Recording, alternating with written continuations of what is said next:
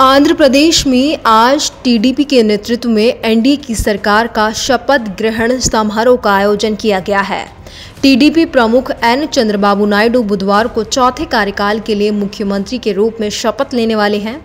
उनके साथ शपथ लेने वाले 24 नेताओं के नाम भी फाइनल हो गए हैं।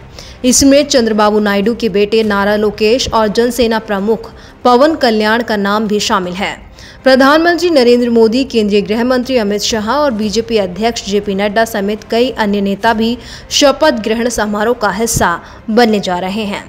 दरअसल ये शपथ ग्रहण समारोह अभी कुछ ही देर में ग्यारह बजकर सत्ताईस मिनट पर विजयवाड़ा में आयोजित होने जा रहा है। नायडू कैबिनेट में जाति समीकरण का ध्यान रखा गया है। सबसे ज़्यादा जनरल कैटेगरी से तेरह, ओबीसी से सात, एससी वर्ग से दो, एसटी वर्ग से एक और एक अल्पसंख्यक वर्ग से नाम शामिल है। कुल 24 नेताओं के नाम फाइनल हुए हैं। जानकारी मिल रही है कि पवन कल्याण को उप मुख्यमंत्री पद के लिए पेशकश की गई है। आंध्र प्रदेश विधानसभा में एक सौ पचहत्तर सदस्यों की संख्या है। ऐसे में कैबिनेट में मुख्यमंत्री समेत 26 मंत्री हो सकते हैं। वहीं शपथ ग्रहण समारोह में शामिल होने के लिए प्रधानमंत्री नरेंद्र मोदी बुधवार सुबह दिल्ली से गन्नावरम एयरपोर्ट के लिए रवाना हो चुके हैं।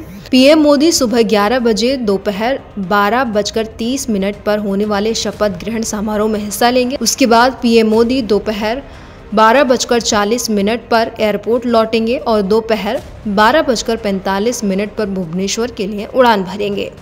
वह ओडिशा में आयोजित शपथ ग्रहण समारोह में हिस्सा लेंगे पीएम मोदी के अलावा।